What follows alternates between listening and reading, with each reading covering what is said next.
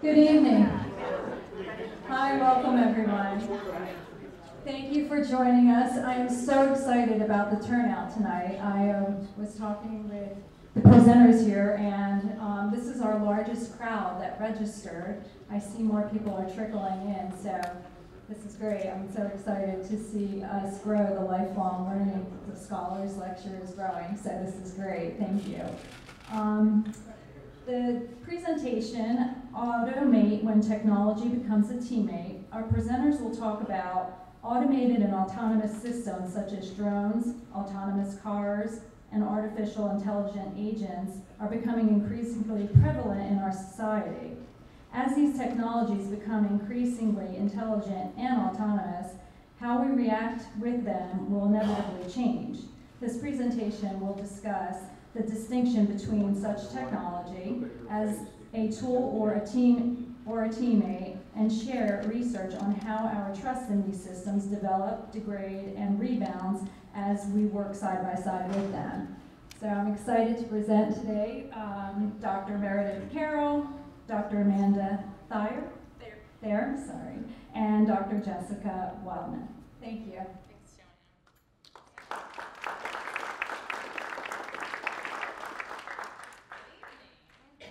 Welcome. I'm going to start by saying that we actually did not color coordinate our outfits. this just shows you how we're like working as a team. We're like on the same wavelength. So, uh, can you guys hear me okay without the microphone? My husband says my voice carries. use the mic. You want me to use the mic? Okay, I can do that. I want to make sure. Yes. So make sure everyone can hear. Hear me okay now? Okay, all right, great. Um, so tonight we're going to talk to you about automated technology and how sometimes it actually goes beyond being just a cool tool and becomes a teammate. So my name is Mer- Meredith Carroll. I'm a professor of aviation human factors in the College of Aeronautics here at Florida Tech.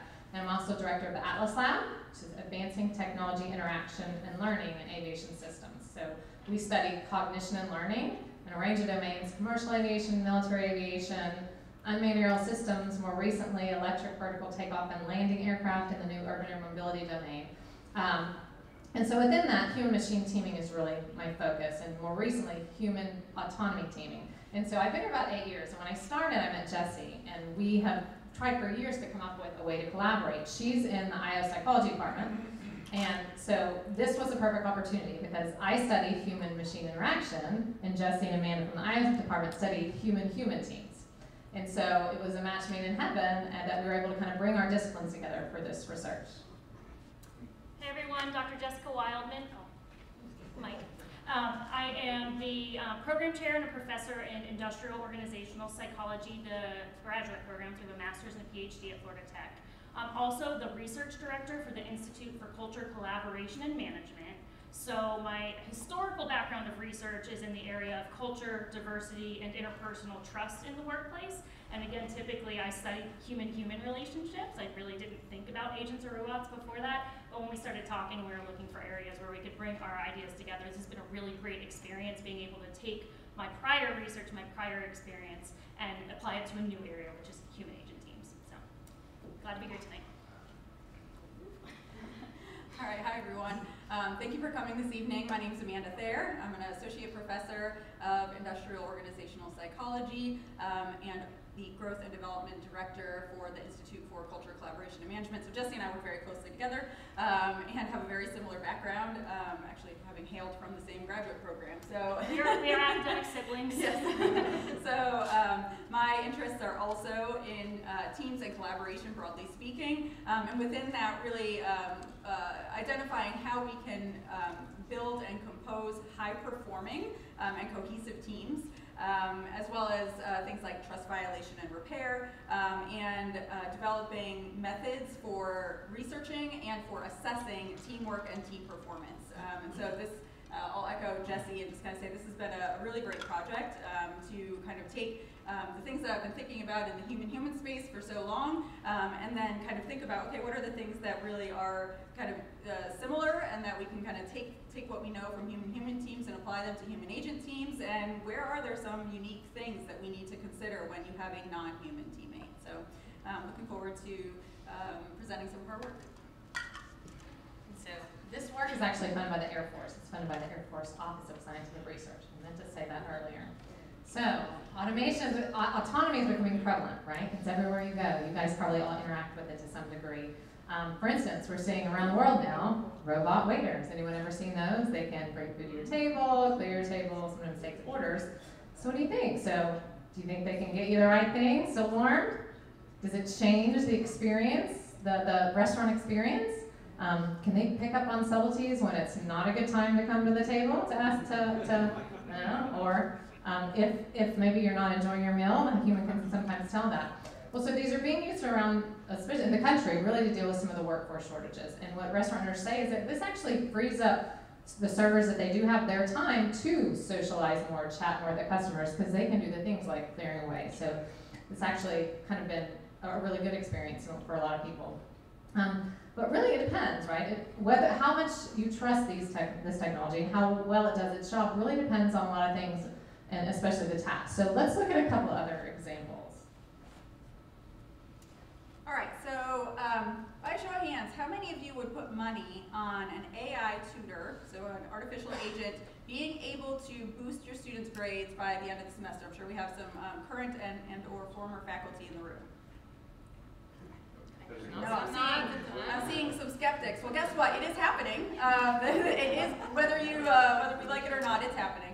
Um, so, um, the founder of um, a company, I don't know how many of you are familiar with Khan Academy, but it's um, a, a nonprofit, freely available uh, resource. I actually used it with my child when we were in the COVID uh, era of having little ones at home. Um, so um, anyway, the, the Khan Academy has started to develop an AI uh, robot bot that called Khanmigo. Um, and this is a chat-based, so ChatGPT, if you're familiar with that, uh, that's been a, a, big thing. Basically having automated agents, um, automated bots that are able to provide information. Um, so this uh, Khanmigo is being deployed um, across um, uh, some of their, their private schools in, in, in pilot testing.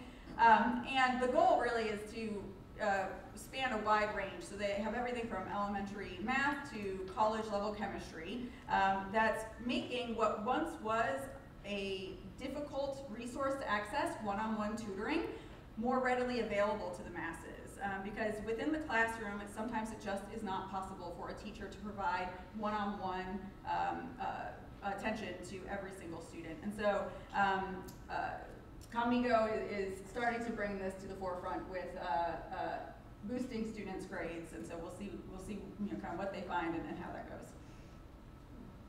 Awesome.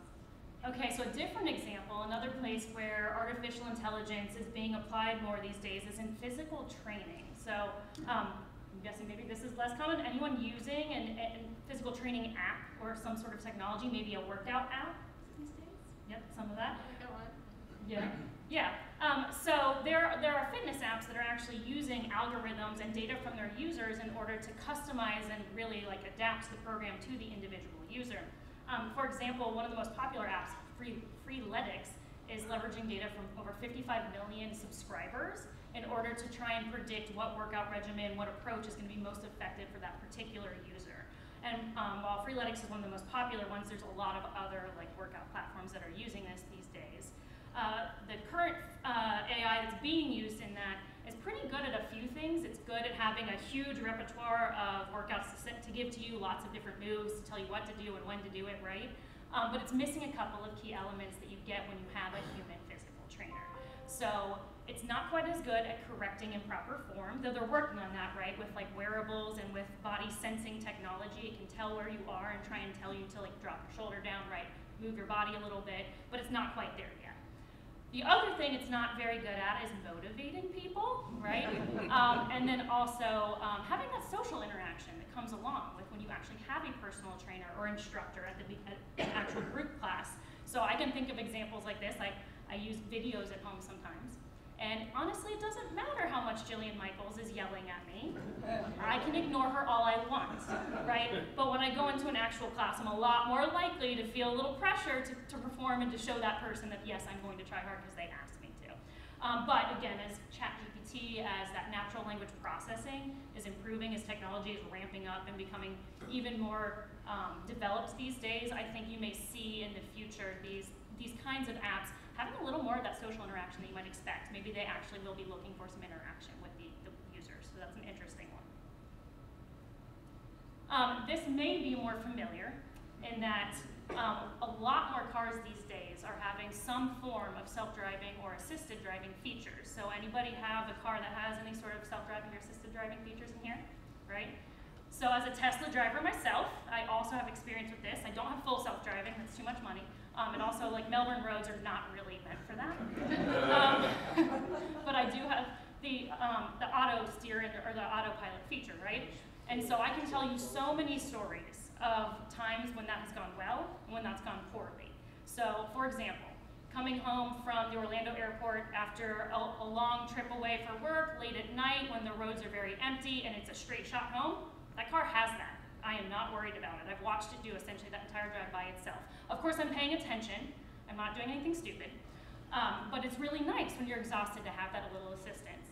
Now, on the other hand, there is this mysterious strip of road in Vero Beach that I just experienced like last weekend actually, um, where for whatever reason, like autopilot cannot tell where the turn lanes start, and it just boom every We single time. experience the same, Yes. we al- also a Tesla, we're the same person. Um, Also have a Tesla, we, we went together and we experienced the same It's like thing. our kids' to botanical garden. Um, but yeah, it, for whatever reason, it just can't, even though it's very well marked, the roads are marked nicely and it just can't, it's, something's going wrong. So in that moment, I'm ready, we're ready to intervene, we're turning off autopilot, right? So there's very big differences. Um, anyone have any fun stories of either really good autopilot or automated, automated driving or, or poor? Hopefully nothing too bad. Yeah. Um, I was backing up and I didn't see something behind me, and the car stopped me. like- Yeah, so the safety features honestly are very helpful. I mean, I think there's probably many accidents that have been prevented with things like that. Not Right. seeing it. Yeah. I had it tell me to put my hands back on the wheel. Yeah, yeah, it'll remind you. You need to be doing that. And again, I think it, I mean, obviously there's some applications where you shouldn't be doing that, but if you're a little tired, that little beep beep beep to get you back to focusing is really helpful. Yeah. Um, when my mom was driving the highway for too, too many long hours, it told her to take a break and get it off. Yeah. Oh, wow. See, isn't that nice? And so like it's, it's really like almost like a friend being like, hey, listen, this is probably a good idea, right? So I think there's some really great features that are coming out of this technology. And then one more example is a robot dog. So this probably isn't quite as commonly seen. Um, so in an emergency, would you trust it? This is a dog that a robot dog that's now available in emergency situations um, to go in and search for people in areas that either human can't obtain access to or doesn't have vantage points for. It, it, it's waterproof. It's got IR sensors, thermal sensors, and it's super robust. So I actually had the opportunity to see. This is a video I took at the Air Force Academy just like a, like a month ago. Um, a little freaky this thing, but yeah, it's so so it will walk up to you, it senses you. Um, it's super robust. The the the the airman tried to demonstrate how robust he kicked him tried to kick him over several times as hard as he could, and then the dog will kind of catch himself. And so they're incredibly robust. They can sense you. And so in the future, um, these these robots could be used, say, to identify like an, a, an escape route in a, in a fire, right? So it could be pulling using AI to pulling satellite imagery, being able to real time map out based on what's going on with the fire the best route. So would you follow a dog like that?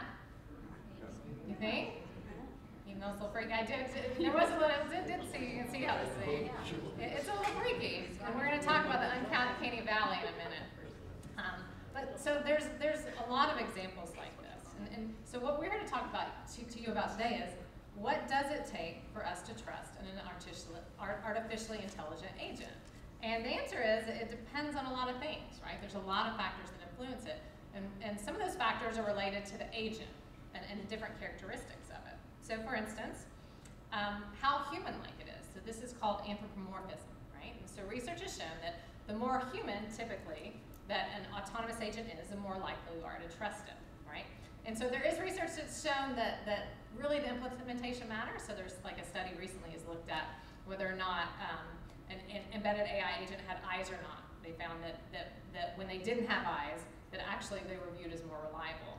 And so there's something that's actually known as the uncanny valley. And so we really like our agents to be very human-like to a point. Because once they get really human-like but aren't exactly like a human, there's this thing called the uncanny valley in which it kind of freaks us out and we create, have like kind of an aversion So Have you ever seen that? Have you ever encountered like a really freaky like robot that was like so human? And I have a little that with that robot dog. There was something about like it wasn't a dog, but it, looked, it moved like a dog, and and so you have to be careful because this is something that can influence our trust in the agent. Another factor is the embodiment. So um, autonomous agents can come in the form of like an actual physical robot, um, can come in the form of a virtual avatar, like in a virtual environment or like a video game, or even embedded um, in something in another technology, something like Alexa, right? And so our trust is influenced differently based on the type of embodiment there is, right? So physical robots, we tend to have very low, humans tend to have very low trust in the but we will follow the most bizarre recommendations from despite that. So I just saw the most interesting study you. It was actually a little, little scary. So um, it was a university out in California that briefed at this, the Air Force Academy that I was just at. So they did a study where they brought in participants, college participants, and to a room in their university, and they introduced them to a physical robot, and they interacted with it and talked with it, and they immersed in, uh, uh, put on an HMD and immersed in a virtual environment, and that there was a virtual avatar of that same robot there. And, and so they talk with it, and all of a sudden there's an active shooter situation. And this V is realistic. You hear shots, there's blood splatter, and people start running. Hmm. And so the robot's like, follow me, I'll show you the quickest way to get out. And so you see the robot lead this person in the opposite direction that everyone else is running. Past exits, and you know what? Almost every, the majority of people follow them. And they don't trust this robot because you see, they show video of the person, and you're passing exit, and the people are going like, but they continue to follow them, the majority of people. So it's interesting the level of influence some of these autonomous agents have over us. With virtual agents, like in a virtual video game, we tend to have very high trust in them, but as soon as they do something wrong, that trust drops off. And with embedded agents, oftentimes people don't even realize there's a level of intelligence involved. So like, you know, your Facebook is tracking everything you're doing and then tailoring the ads, right? So that is a form of artificial intelligence. There's other factors that influence it, like um, how well, how, how its ability to perform tasks effectively, how benevolent or caring it is, and also how much integrity it has or how much it, its perceived moral values align with yours, right? So the better something is at performing, the better an agent is at performing a task effectively, the more we trust it. The more caring and compassionate it seems towards us, the more we trust it. And the more we feel like its intentions and what it's trying to do align with our values, the more we will trust it. Another factor is the level of autonomy. So level of autonomy is how much, how much an, an autonomous agent can independently make decisions and take actions without input from the user, right? And so there was a lot of research that looked into this about 10 years ago, um, and they found that the higher the autonomy, actually the less trust we have.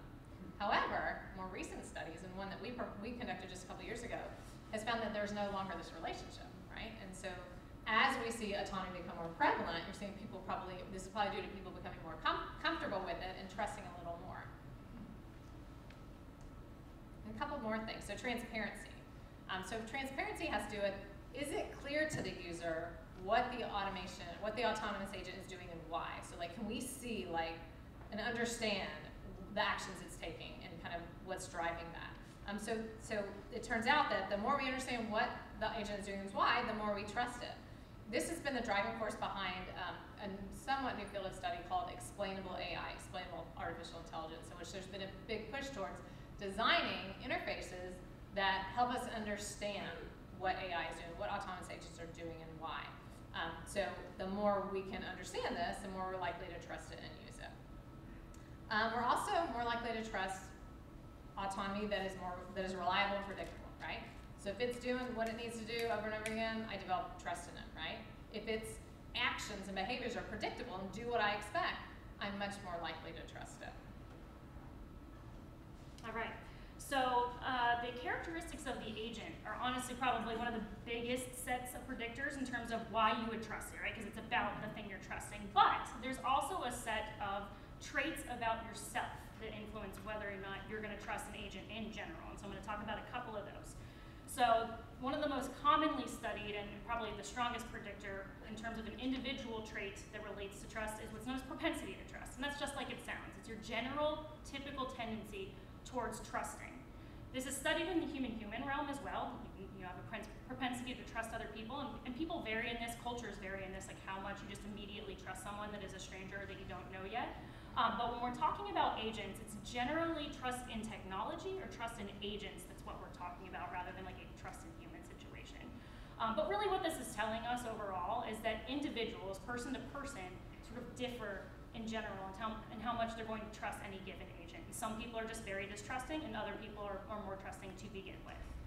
Relatedly, positive attitudes are a predictor of trust. So if you're somebody who feels good things about agents and technology, you see it as beneficial, you feel really comfortable with it, you've had a lot of exposure to it, then you're more likely to trust in those kinds of.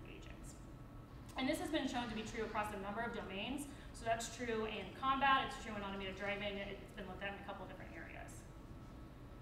Um, not surprisingly, another thing that relates to whether or not you trust an artificial intelligence or an agent is your level of technology self-efficacy. And what this is saying is essentially how comfortable are you with technology? If you're somebody who's very tech savvy, you're very adept at learning and using a technology, so you feel very confident that you're gonna be able to go in there and use that system, you're more likely to trust it. So it's not very unexpected there, but that's very helpful. Personality is a little bit more of a mixed bag. This has been looked at in a number of different ways. You've probably heard of extroversion. Um, I think it gets talked about a lot in the news. You've probably thought about whether or not you yourself are more introverted or extroverted, right? Um, so what the research has said is that, or at least expects, is that extroverts will be more likely to trust agents because they're outgoing, they're sociable, they're gonna sort of like like those interactions with the agent more. That said, there's also some evidence that's not true, so the jury's kind of out on that one. There's also a little bit of evidence that's pretty um, insubstantial, there's not a lot there yet, that if you're more agreeable, if you're less neurotic, and if you're more conscientious, that you will trust agents more. But again, there's a lot of uh, areas here where, that need a little bit more research. It's a little bit more mixed in this. Two things that definitely relate to trust in an agent though, domain expertise and your past experiences. So this is saying that if you are an expert in whatever the task at hand is, whether you're, you're, you're a really great driver, you're really great at using your car, you're really great at using your system, um, and you have a lot of experience with that particular agent, right? You've been using it for years and years. You're more likely to trust it. And there's a couple of reasons for this, right? If you're a task, the task expert, then you are going to know what to expect more. You're, you're coming into things with um, more resources freed up. It's going to be like a less, uh, lower cognitive load to be engaging in that task. And when you have those lower cognitive demands, that frees up space for you to trust the agent. it also means that if you've had experience with that agent, it's all about predictability, right? So if you've experienced it before, you've seen things happen, you know what to expect, maybe you've run into a lot of different situations with it and you know how to handle those, you understand why it's happening, and so it's more likely for you to trust it in all those cases. So all of that sort of leads to um, increased trust in agents as well. Okay, so beyond the characteristics of the individual human, and the individual agent, it's also important to think about how the combination of these uh, multiple players within the team, um, how that can impact trust as well as the tasks that they are performing. Um, so we hear the word team used a lot, um, so I think it's important before we kind of jump into some of this to talk about what teams are and what some of the key defining features are that make it different from any other group of individuals. Um, so when we talk about teams, the key feature that makes it a team and not a group is that the individuals within the group or the team are working interdependently, meaning that they rely on one another in order to accomplish a shared goal. So they have to have something that they're, they're both working toward or that they're all working toward, um, and they have to rely on each other in order to get the job done. So uh, in teams, um, we like to say that teams are more than the sum of their parts, right? It's not just everybody kind of doing their thing and throwing it on the table and we're done, that you have to actually interact and work together uh, in order to be successful. And so as we uh, think about um, the, this key feature and we think about uh, trust, um, this reliance on one another means that there are some unique factors that can influence trust that I'll talk about here. So um, one important consideration with human agent teams, or really teams in general is team composition. And what that means is what are the characteristics and the configuration of characteristics across the different members of a team. So when we talk about uh, human agent teams, one of the things that has been uh, researched is the ratio of humans to agents within a team. So do we have more humans, more agents, all of one, all of the other, or you know some combination thereof. Um, and what the research has generally found is that humans trust other humans more than they trust agents. So um, when uh, thinking about trust in the agents within a team, when there are more humans within the team, people trust the agents more.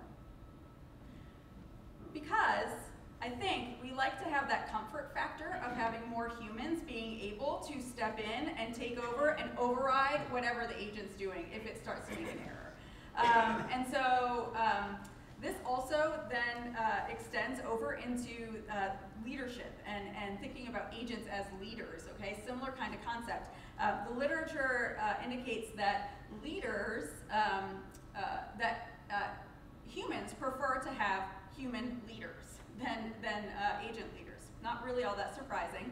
Um, however, as we increasingly look towards more autonomous agents, um, then or organizations and, and uh, uh, teams are going to start to incorporate uh, more agents that are able to make decisions um, on their own.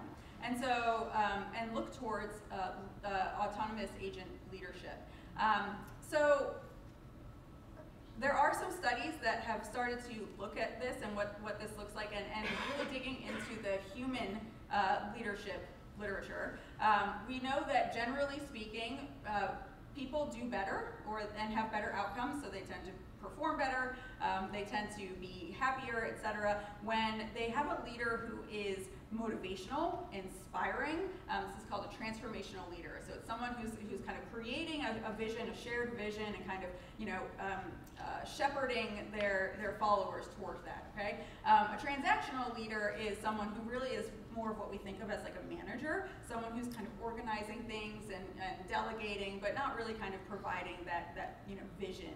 Um, so um, within the um, human agent teams literature, what we're finding is that there is some marginal, um, uh, um, some, some literature that shows that we marginally trust um, uh, or transformational uh, agent leaders more, um, but not quite to the same extent that we maybe do with humans. So it, it's unclear if we expect the same things um, in, our agent leaders and expect them to behave the way that a human leader would, or if we're expecting them to function a little bit differently and what our preferences are.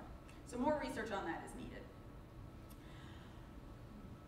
Factors associated with how a team interacts, such as proximity and, how, uh, and communication, also play a role in trust within uh, human agent teams. Um, so proximity refers to how close you are uh, your physical space with uh, another individual or, or you know, any other object.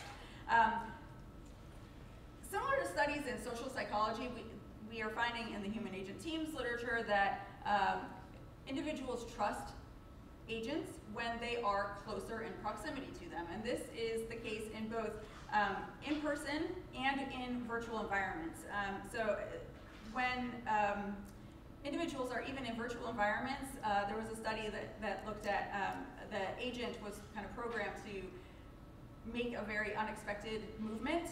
And what they found was that individuals would kind of move away from the agent, right? Because they weren't really sure what it was doing. And so what they were doing was that they were increasing the the distance, right? Increasing the space between them and the agent as an indication that they didn't really trust them. So um, proximity and trust are, are kind of related in that regard.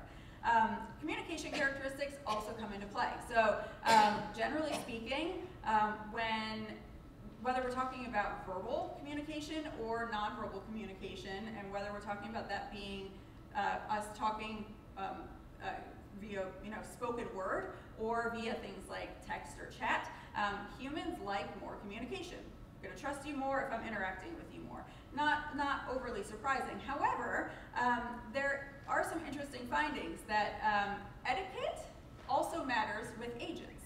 So when we think about interacting with humans, the way that we communicate, that we're polite and that we engage in these social norms of communication also seem to extend over to our expectations for agents.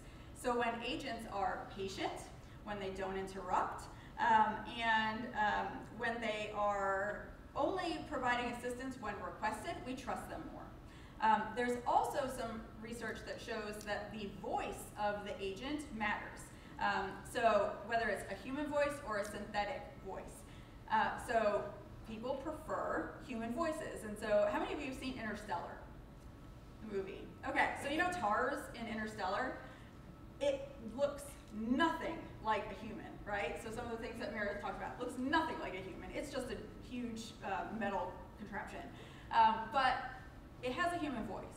And of course, in kind of looking through this liter- literature and thinking about it, as a viewer, I trusted that TARS was going to do whatever it took to help the team succeed in its goal and to, to take care of the humans. And so, um, kind of just an interesting uh, thought exercise in terms of what is it that we actually uh, look for in agents. So.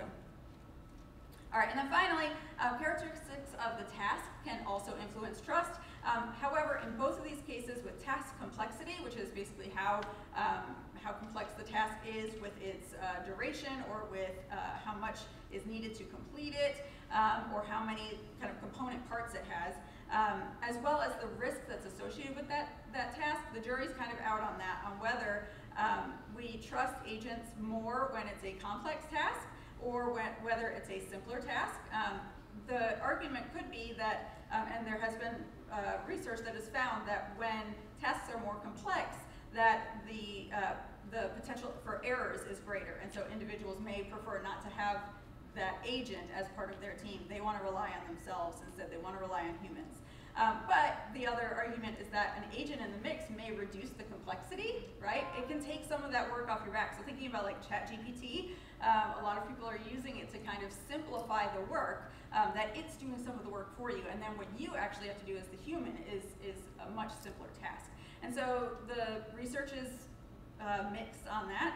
Um, also in terms of risk, um, some uh, studies have found, for instance, going back to the car example, one study found that um, in higher risk conditions like curvy roads, um, that uh, people uh, trusted their their agents less, and I can, uh, similar to Jesse, I, I, can kind of understand that. I've almost been catapulted out of my Tesla too many times on uh, curvy roads, uh, or where it you know sees a car crossing the lane, you know, a quarter mile ahead, and decides to slam on the brakes, right?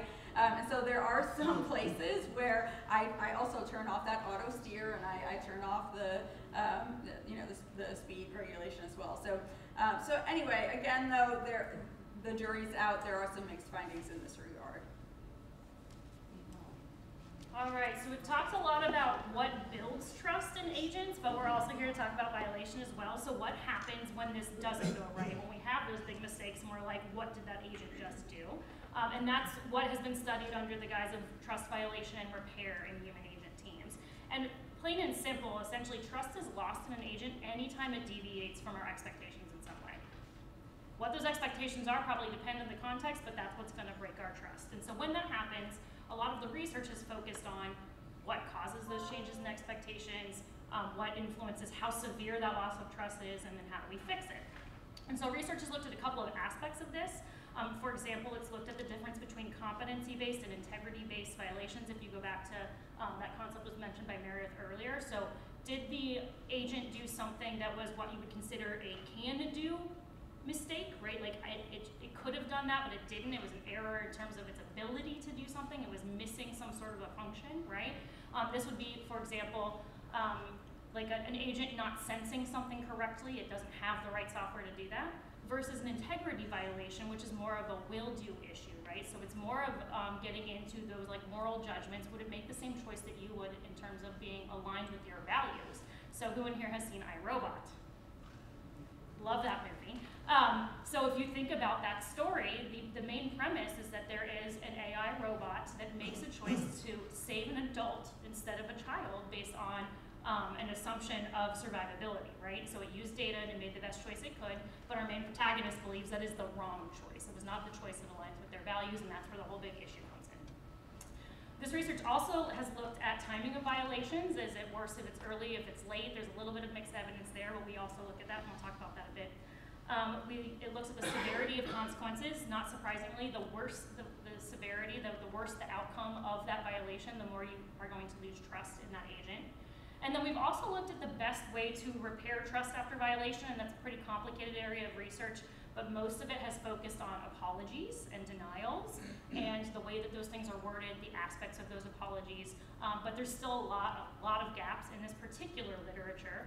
Um, which is what we have been trying to address with some of our research. So um, we're going to present a little bit of the findings from one of our projects, which was funded by the Air Force Office of Scientific Research. And essentially, we were trying to um, do things a little differently than the previous research. So previous research tends to focus on one human and one agent. A lot of what we just talked about looks at that, right? We're focused on teams with multiple heterogeneous or very different agents. Um, previous research has focused on agents as a tool or as a recommender, right? We're really trying to make them positioned as interdependent teammates that take on a full role in that team. Previous research has looked at agent characteristics like anthropomorphism, reliability, and that makes a lot of sense. Those are big predictors, but we're really interested in the event characteristics. So what about the violation? What about the repair, which we haven't quite gotten to, that's this coming year. Um, what about those events is going to influence the trust? Previous research has very, very limited focus on time. There is some, um, and it, it scratched the surface, but we're very explicitly looking at trajectories over time from multiple different reference or targets within that team. And then previous research has had a pretty heavy emphasis on self-report measures, which makes sense. Trust is in the eye of the beholder to some extent. Only you can tell me how much you really trust things. That said, there's other ways to get at that, and we'll talk about that. Um, and then previous research has also looked at use behavior. Do you use it? Do you listen to its recommendation? And that is a, a good indicator of trust, right? But there's more to it than that. There's other behaviors that are dependent on trust. And so our research has really tried to broaden the toolkit and consider not just self-report measures, but also unobtrusive ways of getting at trust and also looking at trust behaviors beyond use to see how that reflects trust. So our research is multi-level, event-based, dynamic, and multi-method in nature. So our main research question is in multi-agent HATs, so not just one agent, one person, what influences the trust a human has? We are still focused on that human's trust toward the agent. One day we'll ask how much the agent trusts the human, but we're not there yet. Um, how much trust do they have in all of the different agents in their team and also the team as a whole because as teams researchers when you actually look at team trust in my field you look at how much you trust the whole team but very little HAT research has actually done that um, so you'll see in the little diagram our particular paradigm is a five person team one human participant working with four different agents and i'll talk a little bit about that in a minute but within this experiment we are essentially manipulating three primary variables the frequency of violation, how many, when does it occur, and then who did it. And I think that last piece is probably our biggest, our most novel contribution because nobody else has really looked at looking at multiple agents at once. There is some swarm research, I should say that, but it's a little different in the way that it looks at it. So in order to study this, what we found is that there's just not a whole lot of off-the-shelf test beds that let you do that, and so we had to build our own.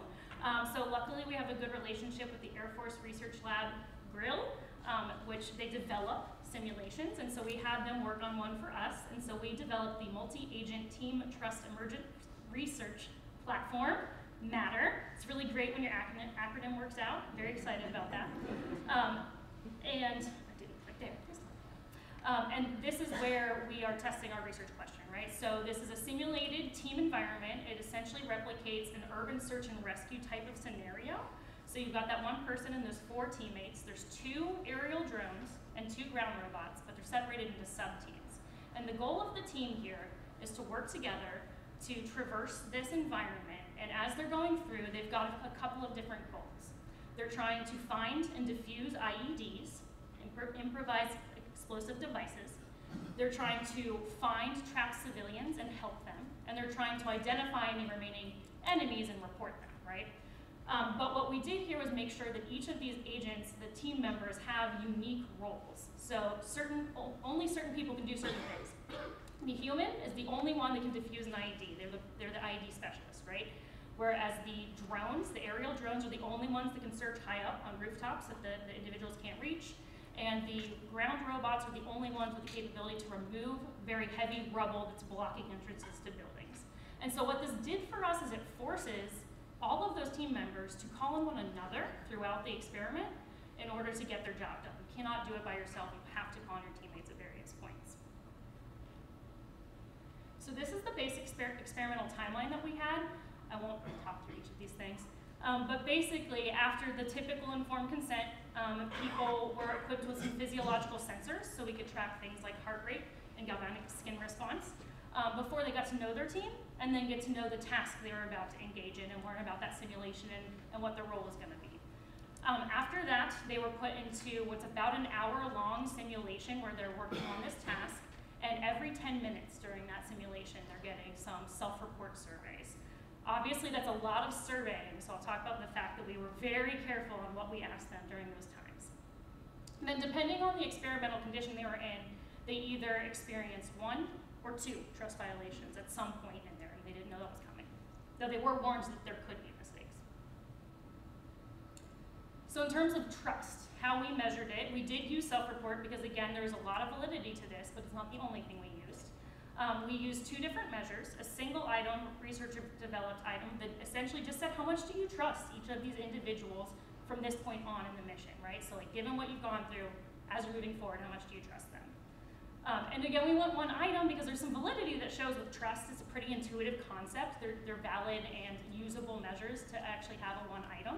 Um, but also, it would be way too annoying to be doing that every 10 minutes if it was more items, right? So we just kept it to that. We did, however, include also um, a longer, fancier scale that is multi-item that looks at trust and also distrust, which is a very different affective experience, right? Like feelings of suspicion and wariness. Um, we did that three times, the beginning, middle, and end. And we haven't gotten into that analysis yet, but we have it for a later date when we can figure out what's going on with that. Okay, so now let's wait to tell you what we found. So we had some really cool findings. Um, the first one was that trust is really resilient. So the next few slides, you're going to be looking at trajectories. Remember, we asked them how much they trust each agent every 10 minutes. It allowed us to create trajectories. And so each of these, the colored lines represent a different agent, and the black dotted line represents your trust in the team as a whole. So you can see here is that Rocky, is the pink brown robot, violated about 10 minutes into the mission, violate, had a trust violation in which he missed an IED, it exploded and killed civilians, right? And so you can see that immediately there is a significant drop in trust right after that happens, right? What we also see is that it very quickly and naturally recovers again after more, a bunch of positive interactions with it. But it's only resilient to a point. Fool me once, shame on me. Fool me twice, shame on you. Jessie came up with all the cutesy little sayings in this. I have to give her credit. That wasn't me. So, although trust recovers after one violation, two violations, we did not see it recover to pre-trust levels, right? Even though they were having several positive interactions after that, right? So what this tells us is that despite this high reliability, I mean, they interacted with this thing like 50 times, and only two times did it make a mistake. Despite that, when they're hit with two violations, boom, boom, double wham, whammy, it had lasting effects on their trust. The other thing we found was that when the violation right? So later is greater. So when the, so this is early, mid, and late mission. So first 10 minutes, half an hour in, or 50 minutes in, right? And so the later that first violation happened, the more significant was a decrease in trust. So, so one of the reasons we think this is, is because if you see, they do start with pretty high trust in these, but it continues to build. So after 49 minutes, you have a lot of trust to drop, right? So you got more to lose. Um, when this isn't the case early on, you're just starting to develop trust, right? So you don't have as much to lose. The other thing is, is expectations, right? So for 49 minutes, you interacted with this thing and it did a great job. Your expectation was for the next torturous 10 minutes, we tortured them for an hour with this task, that it was gonna do its job. So 49 minutes, when it messes up, you're like, whoa, taking it back, right? So the other thing we found was that was that that th there's who done it matters, right? So there was actually something we're calling this the adjacency But so in most cases, when an agent violated, it only impacted trust in the agent who violated. However, what we found was then when there's two violations, that who does that second violation actually influences whether there is a spillover to the other agents. All right. So if you look at these graphs, in all the graphs, Rocky, the pink brown, the pink brown robot, was always the first violator, and then we we varied who the second violator was. So in the first graph, it the second violator is Boulder, who was also a ground robot, so he's a lot like Rocky, but he was on a different team, and so only Trust in Boulder was effective. In the second graph, um, Falcon, who was the drone who was on Rocky's team, was the second one who violated. So he kind of had an association there. So when he violated the second time, only trusted him with loss. But what we found was when Eagle was the second violator, so Eagle is a, is a drone, he's not a ground robot, he's on a totally different team, he has no connection.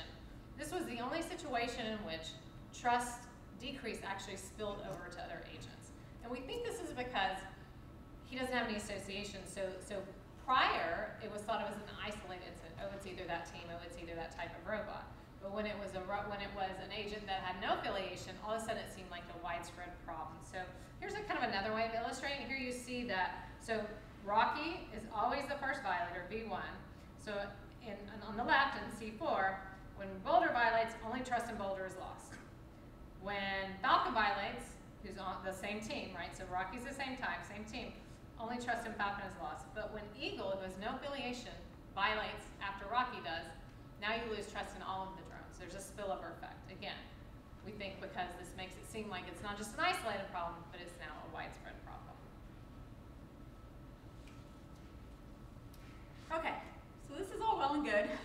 we have some really interesting findings. But you might be thinking, but Amanda, stopping my team to ask Sorry. to com- stopping my team to complete a survey um, just isn't possible, or it's not reasonable.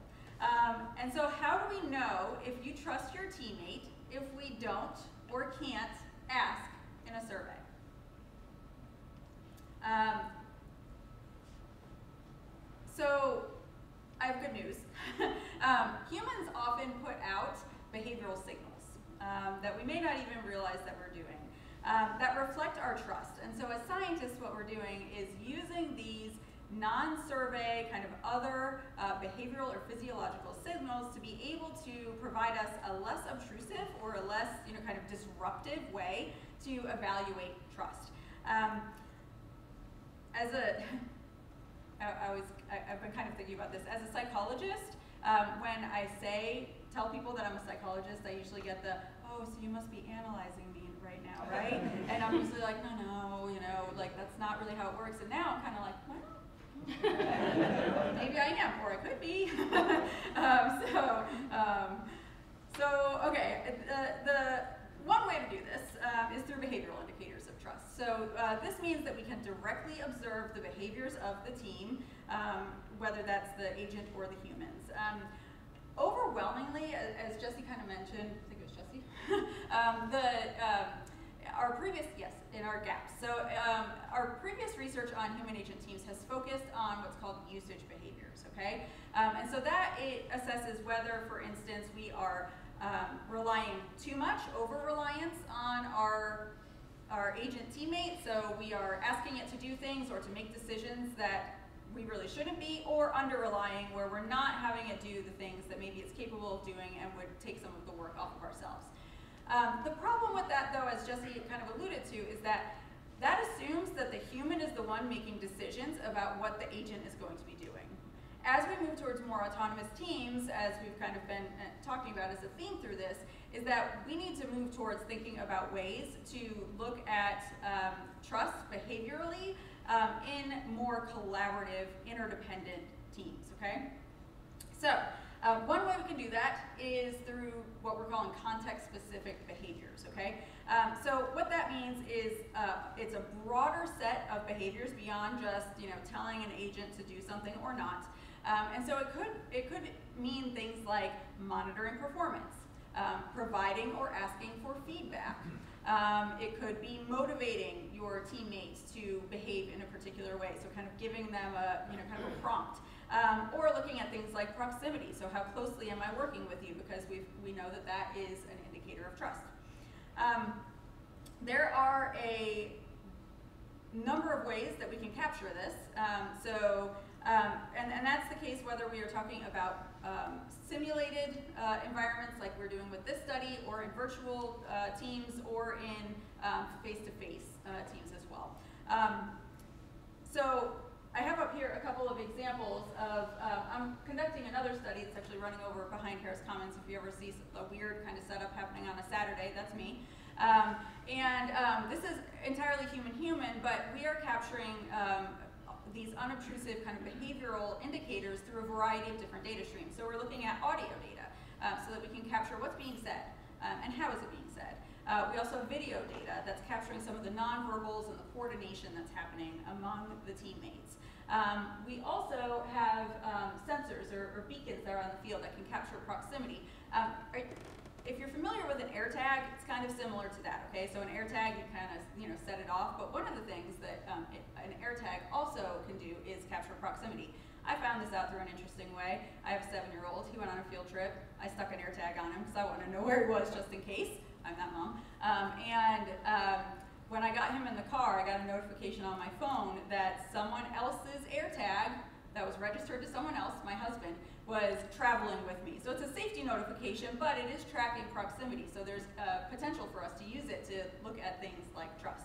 Um, but we are leaving behavioral digital trace data behind every time that we are using technology, okay? So this is how you're getting like, you know, you go to the, um, you're, you're having a conversation with, you know, your daughter, your friend, whatever, and, you know, they've been maybe looking at, I don't know, welding supplies.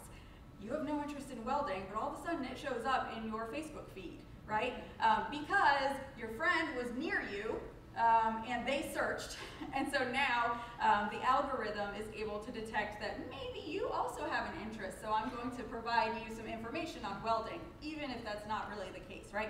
So we're leaving behind behavioral digital trace data, um, and these kinds of things can be used for uh, assessing things like trust. So in our study, we did this in a couple of different ways. Um, so first, and you can kind of see what that looks like here. So first, we assessed team monitoring. So this was um, how many times the participant, the human participant, clicked on the summary statistics to uh, check in on how their teammate was doing and kind of what they were up to, how they were performing. We also uh, captured how many times they were requesting assistance, okay, so kind of similar to that usage uh, behavior, but the agents are um, able to make decisions on their own, whether they're going to do that or not um, in, in um, these kinds of teams. But um, we captured how many calls for help they uh, had, and then we also had what we kind of call these like nudge, um, which essentially is a prompt to ask the agent to search faster or to search more carefully. So, um, we found that humans do in fact behave differently based on their trust in agents.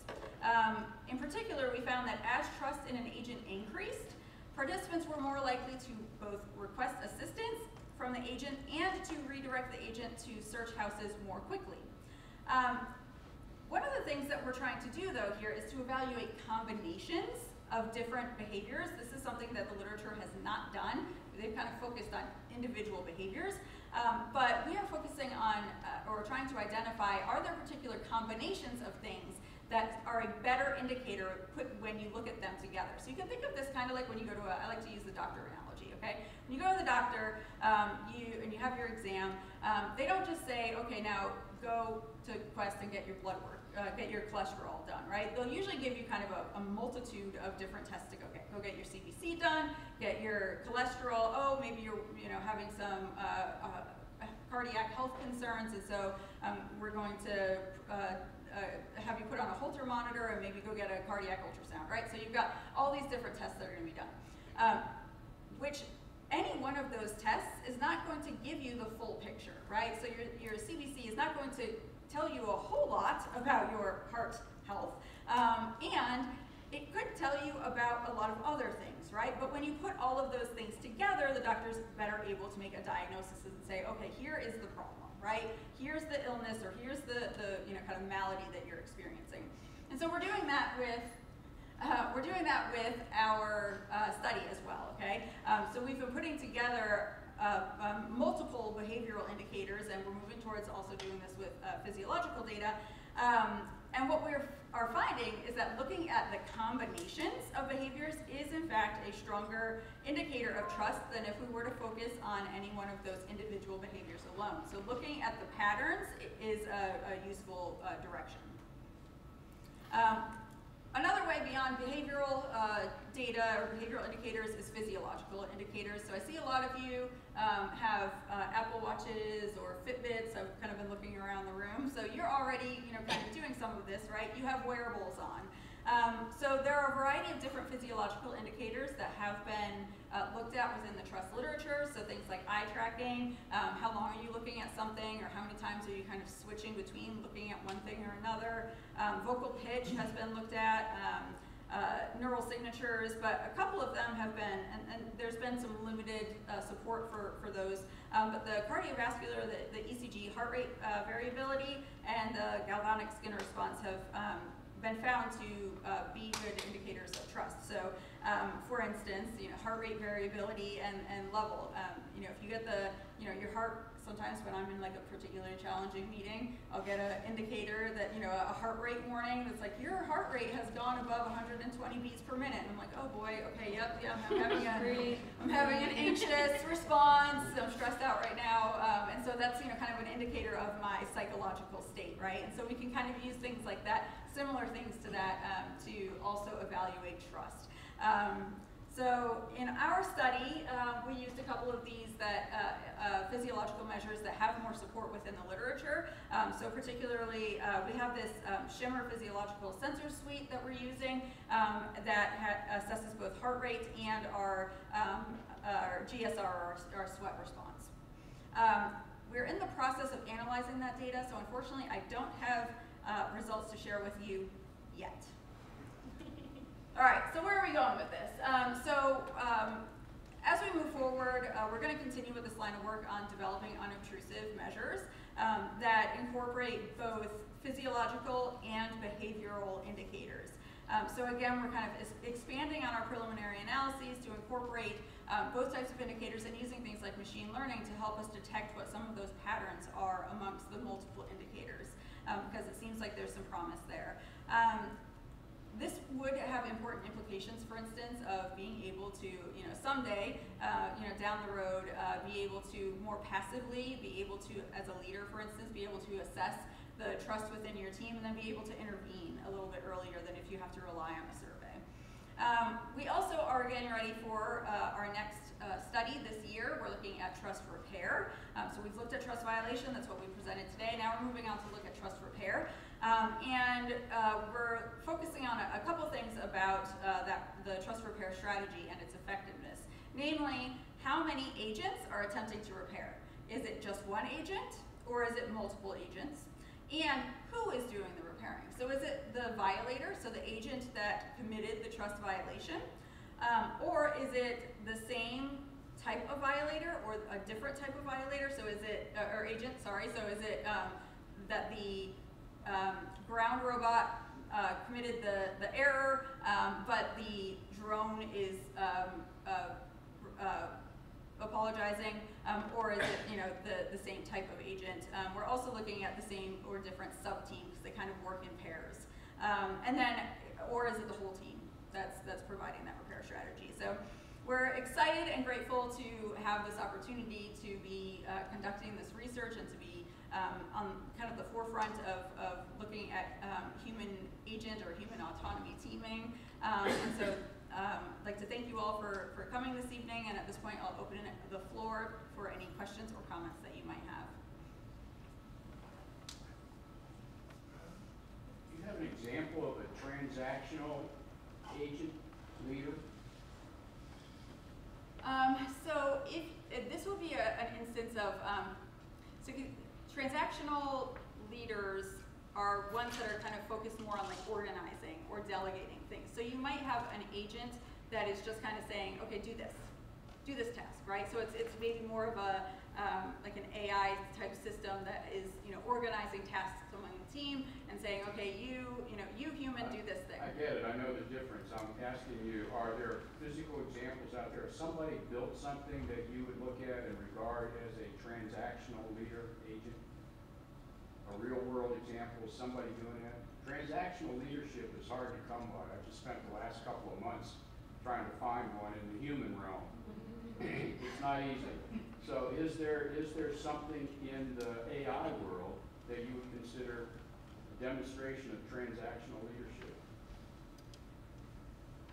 I, I mean, I'm kind of it's thinking. Okay to say no. I mean, well, so I'm, I'm thinking of this not in um, like a multi multi-agent or multi-person context, but um, of course, you know, the algorithm on Facebook it has been giving me motion um, as a tool that is basically you you know kind of say like, well, here's generally speaking kind of what I need to get done, and it makes all the decisions for like what, what to prioritize, when to do the work, you know, basically you just kind of say like, well, here's what my capacity is, or I have this meeting or whatever, and it says, okay, do this here and, and at this time. Um, so it's not really inspiring you necessarily to, you know, kind of towards a, a, a goal. Um, it's just kind of like make, saying like, do this at this time and, and puts it all in your calendar for you. So it could be something kind of similar to that. Uh, okay, that's far afield in my opinion from transactional leadership. I'm sorry, I just, so I, I would take that as, the answer is no. Would you call that transformational leadership? As a, like, what would the alternative I'm sorry, I. I'm, my brain and my, my mouth are not often connected. What I was talking, did I say transactional? Yes. Because I, what I was asking for is transformational. Oh, oh okay. so I gave you a transactional example. Yes, yes, a very good one, as a matter of fact. And they're ea- I, I won't say they're easy to find, but yeah, there are lots of examples of those. So my question, when I said I was, spent time looking for transformational leadership in the human realm, my question is, are there examples out there of a transformational AI leader? Well, so I don't know about lead, leader, but I would say so. Like I'm a runner and I use the Nike app, and so it it can cheer me on. It can recommend runs. It links me with other people with my so like it's not necessarily a leader, but it, it's very influential in motivating me, and it does influence me to do different tasks. Um, and so there's actually a lot of I don't know if it's leadership, but a lot of technology that that, that is is is persuasive technology they call it that can can influence your behaviors, right? And get you to do things based on telling you what other people are doing, motivating. I mean, like I, how many people do you know who have a, who have a Fitbit monitor their steps, right? And so now they change their pattern behaviors of what they're doing just because they have this intelligent agent that's tracking information and giving them information and encouraging them and giving them badges and and so these are things that a transformational leader would do. I don't know if you could call those leaders, but I guess that's the issue. Is, like, is Yeah. it just transformational? but you know, maybe the technology isn't there yet. And so we've actually talked about this a lot, is, is, because when we're looking at teams, agent teams, it's like, how do you develop a human agent team in which the agent is a leader? That would look very different than what we're really used to studying. You would have, first have to have the intelligence, right, and the autonomy. And typically our test beds are very kind of Wizard of Oz, like they don't have, like they're scripted to do things. They don't have au- true autonomy and true intelligence. Um, but if you did have that, could you set up a, a, a test bed in which there was an agent who was kind of the leader and, and tasking and, and telling people what to do? And that, I don't, I don't know of any world examples like that now, but I also, I think it's possible in the future.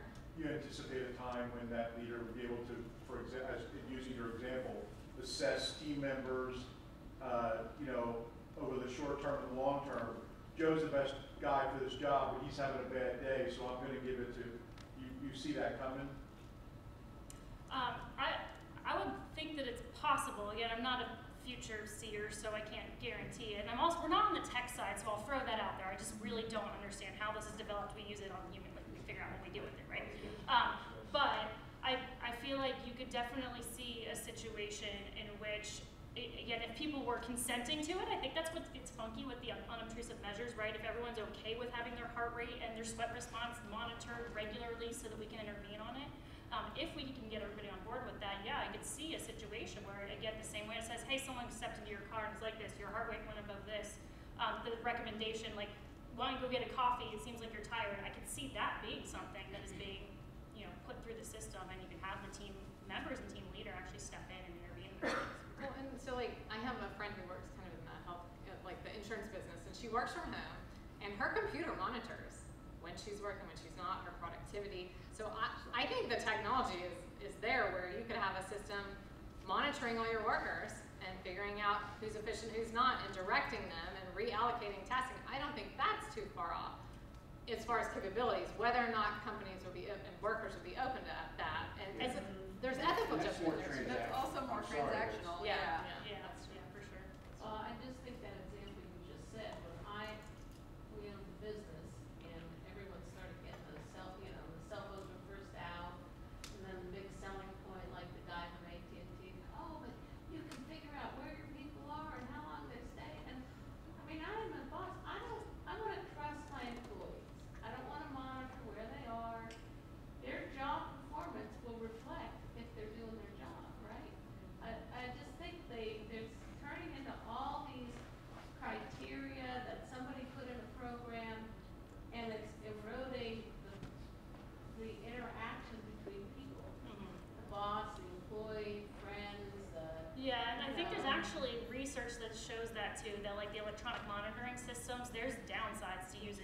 it, there's backlash, like big backlash in organizations. There is, but it also, so my dissertation looked at, um, my dissertation looked at, uh, the, uh, at monitoring as a repair strategy for different kinds of violations. And so. With humans, humans. With humans, yeah, so caveat, well, actually, they thought it was a human, it was a scripted Confederate agent that was told to behave in a particular way.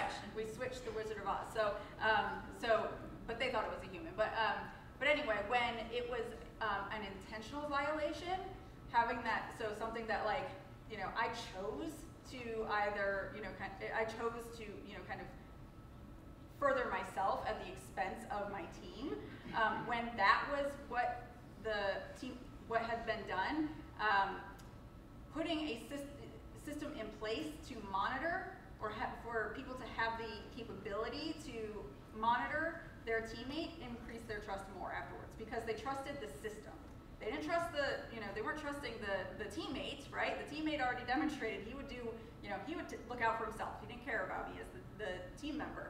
But having a monitoring system in place gave me confidence that maybe he at least wouldn't engage in that behavior again.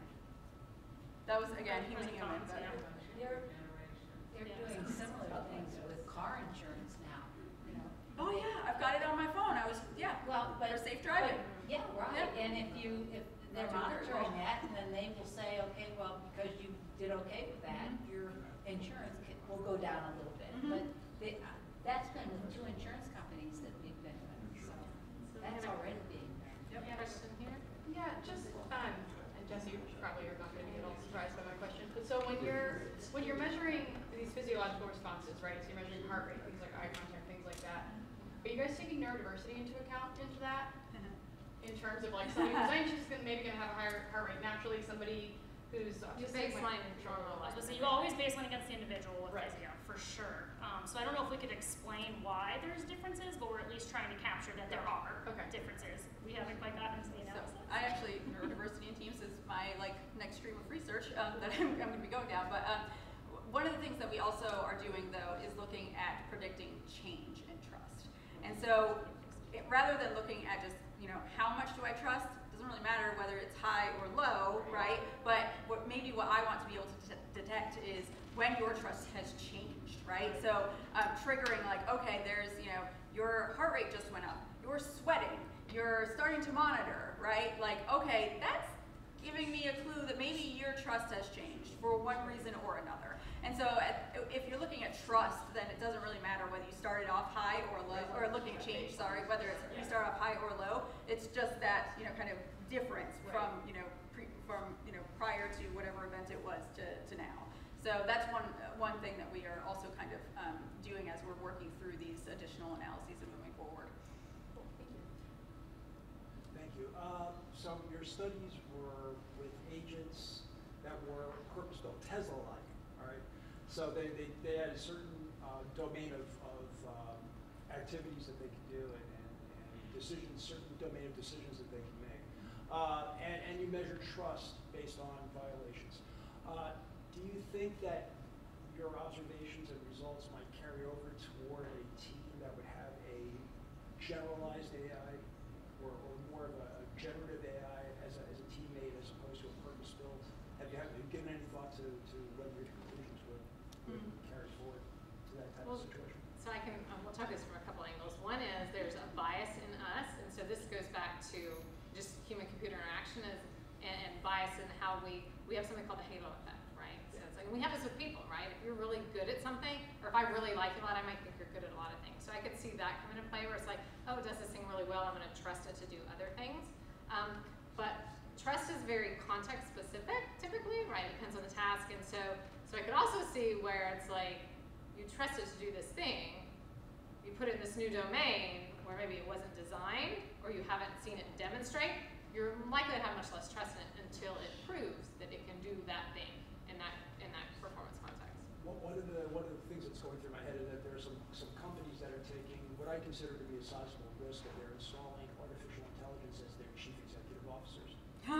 And there are several companies, uh, larger, larger companies that are doing that right now. They're doing, one company did it, it was a gaming company did it in May. There, there, there are several companies that have done that. Uh, as an employee, I'd be wigged out, honestly, uh, at something like that. So, um, just interesting that companies are willing to take I that. well, I think I, I that see it as a risk. I think that goes to the, the task complexity though, right? So, you know, that, being a CEO is a highly complex job. Um, there are a lot of decisions that have to be made, a lot of factors that have to be taken into account, right?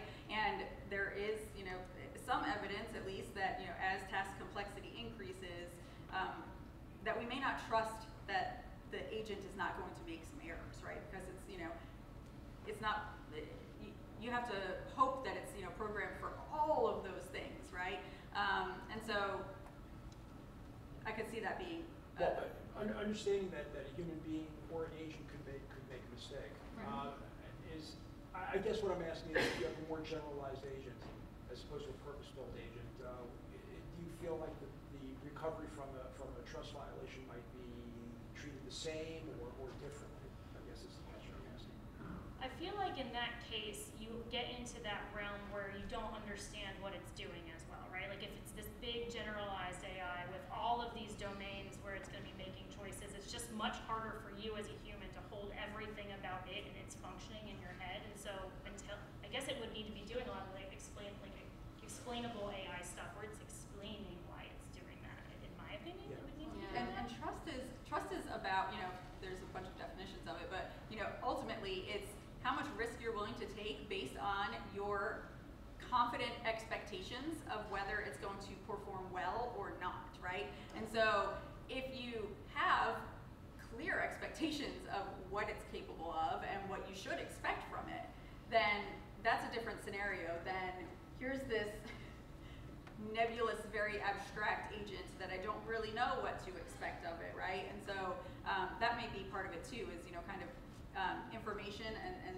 you know kind of establishing expectations of what you can expect from that. that And it depends on the individual, right? So recently in the news, there was some lawyer who like let ChatGPT write his arguments, and they ChatGPT made it up, and he got I don't know, you know, whatever held in contempt. So it's like some people are very trusting. I think this is what we're seeing is this is an area in which um, the technology has gotten ahead of like our understanding of it and the legislation of it. So um, it'll be interesting where all this goes in the you know next five ten years. And as a culture researcher, I have to mention that this is something where the cultures differ entirely. So the way that like we in the West and, and the United States are using AI and how companies are just jumping ahead and doing things, um, I've got some, we've got some graduates who have gone off and they're working in Europe. And like for example, like they're not they're not allowed to touch that. There's they don't have these algorithms. There's a lot more emphasis on human autonomy and privacy in those European settings. And again, I don't, I don't know everything about that, but I'm definitely seeing differences in the way that this entire thing's being approached. So, thank you for your presentation, it's very interesting, thought-provoking. You mentioned some movies, and the movie that I was thinking about, which was way ahead of its time, was two thousand and one Space Odyssey and HAL, the computer. But that was kind of an early version of artificial intelligence. So my question has to do with one other variable that I didn't hear mentioned, which has to do with human trust versus the reliability of the technology and how well it is protected, the technology is protected against things like hackers and doing, and having an adversary do things to the technology to purposely cause it to fail. Do you do any work? yeah, so it's funny that you bring it up because I was just looking before I came on the way. There was um, something in like the aviation news that, that there was a aircraft, 12 aircraft now reporting getting jammed over Iran. Have you guys seen this? Where like they lost like all navigation like capability because they spoofed um, their actual location. They like moved them over six nautical miles. You know, so like we know it's out there. And so so we've done so. I can't talk that specific example, but um, we did studies where we looked at, in an aviation context, where we looked at a pilot when they were faced with conflicting information from like their certified systems or like an electronic flight bag. We looked at, you know, what they trusted, and one of the the kind of violations we introduced was the cybersecurity kind of spoofing. And what we found was that your typical operator, they couldn't tell the difference between just a system malfunction and like an actual cybersecurity attack. So in that case, I mean, maybe in retrospect, if they find out, found out it was a cybersecurity attack, it would have a more negative effect. But in general, the typical user would probably wouldn't even know it was a cybersecurity attack. So that's just kind of one thing that I've studied that's related to it. By the way, 2001: A Space Odyssey was this year It was 55 years ago. It was 1968. I That was Googled ahead that of before. time. I I was trying to follow your trust examples and, and the problems you were having in getting members. It seems to me the most, the most concrete example of trust was the, in these situations where the human is expecting to get some guidance or some recommendation or something from the agent, wouldn't the most concrete measure of trust being to what degree do they follow that? Like me and my GPS wizard, right? I'm about eighty percent. So, and it's not just a trust I have my own ideas about the right way to do this, but that, that would be the thing. The agent is saying, go left, go right. There's been a trust violation. How often after that does the human follow that agent's guidance? May, st- may still say, he may answer your question, you know, I don't trust this guy, but he's still maybe eighty percent, ninety percent. So they've actually done like a meta-analysis, looking at all the studies that looked at reliability, and the answer is seventy percent. When they are less than seventy percent reliable, we cease using them. But seventy percent over many, many studies is typically, if they're That's the above that. confidence level, so I'll, I'll go with That's the reliability, the ro- What the if, what if amount of. all of your sources of information are less than seventy percent reliable? You know, I mean, what happens in that situation? Like, what you're talking about. Well, so in that- that case, you- you pilot, no longer- It's fifty-fifty, right? Right, you no longer rely on it, and you rely on your own judgment, not on the autonomous agent. It's no longer giving you anything, you might as well just disregard.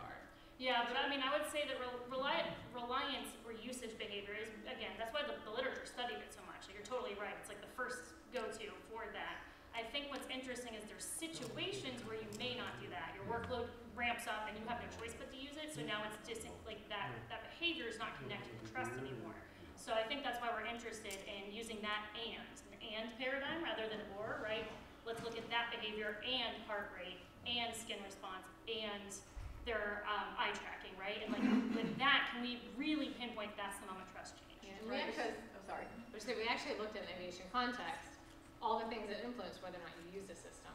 And it, it, it partially depends on your trust, but it depends on a lot of other things too, right? You use, they, these pilots use systems they don't always trust because they're trained to, they have to, they have no other, other alternative, they don't have time to seek an alternative. There, it's a high risk situation, so there's many things that actually influence whether or not you use the system, not just your trust in it.